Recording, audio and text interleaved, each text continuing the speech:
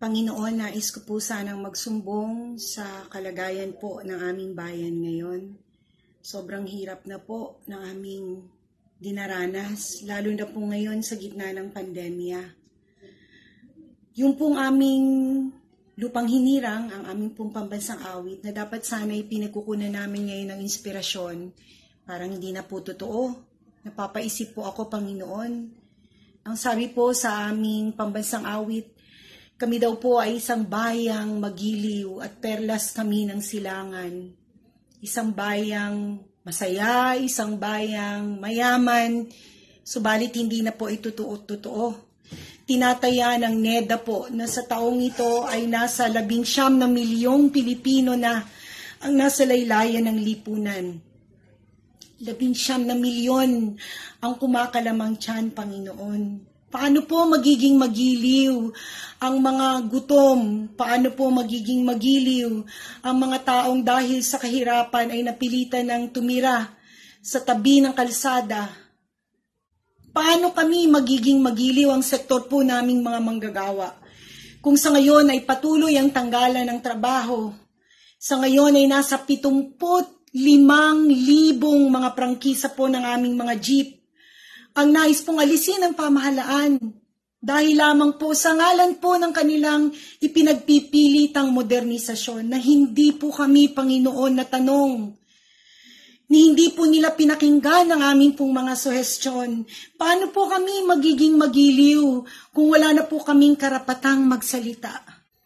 Paano kami magiging magiliw, Panginoon, kung ang katulad ko ang mga kabaro ko, ang mga kababaihan na hindi na nirerespeto ng mga nasa sa itaas ng aming lipunan. Paano kami magiging magiliw, Panginoon, sa gitna ng mahigit na limang libong mga taong pinatay sa ngalan po ng programa ng pagpapatigil ng ilegal na droga sa aming bayan? Paano po kami magiging magiliw, Panginoon, kung sa gitna ng lahat ng ito'y kami takot sa magiging kinabukasan po ng aming pamilya.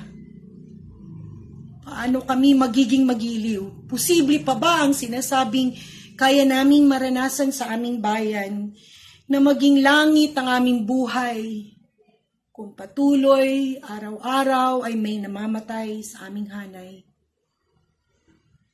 Ang aming pong mga katutubo, wala ng boses.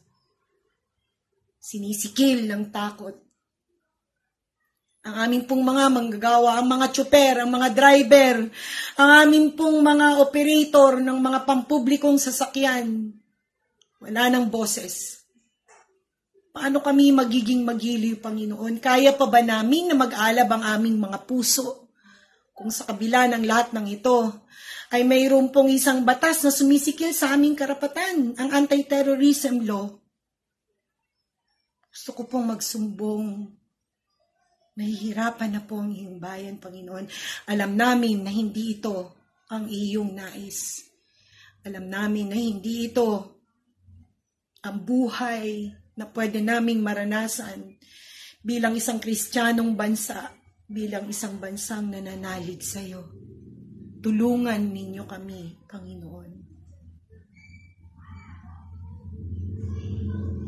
Sa ngalan ng Ama at ng Anak ng Espiritu Santo.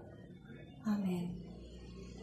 Panginoong Jesus, Panginoon ng kapayapaan, Panginoon ng katarungan, nagsusumamo po kami sa iyo para po sa aming bayan. Nangangarap po kami, Panginoong Jesus, ng isang pamahalaang makatarungan, isang pamahalaang tunay na lingkod ng bayan. Panginoon, ako po'y nakikiusap. Tulungan niyo po ang mga tao na ihahalal namin sa susunod na eleksyon.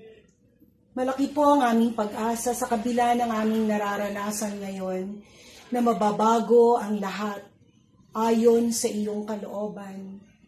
Subalit batid ko po, Panginoon, na ang lahat ng ito ay nasa sa aming mga kamay.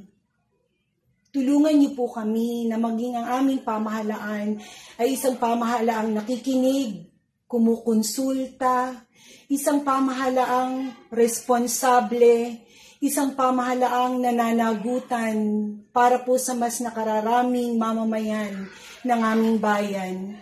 Isang pamahalaang tumatangkilik sa mga mahihirap. Isang pamahalaang nagtataguyod ng katarungan. Isang pamahalaang rumirespeto sa karapatan ng lahat, lalo't higit sa mga manggagawa, sa mga bata, sa kababaihan, sa mga matatanda. Isang pamahalaang hanggang ngayon ay pangarap pa rin namin. Subalit Panginoon, handa kami. Gabayan niyo po kami na sa aming pagboto ay mailuklok namin ang mga taong nararapat para sa pamahalaang ito. Bigyan niyo kami, Panginoon, ng lakas ng loob, na hindi ang utang na loob at hindi ang takot ang maniya sa aming pagboto. Kung hindi, kung ano po ang iyong kalooban. Makapagluklok nawa kami ng aming mga halal ng bayan na maglilingkod po sa amin isang halal ng bayan na may integridad. Isang halal ng bayan na may totoong pagmamalasakit at pag-ibig po sa iyong bayan. Panginoon, nagsusumamo kami na sa kabila ng lahat ng nangyayari ngayong problema ng aming lipunan, mapanatili namin ang kapayapaan sa aming mga puso. Magawa namin ang lahat ayon sa iyong kalooban. O mahal na ina ng banal na santatlo, patuloy mo po kaming ipanalangin sa mahal na ama, sa mahal na anak, at sa mahal na Espiritu Santo.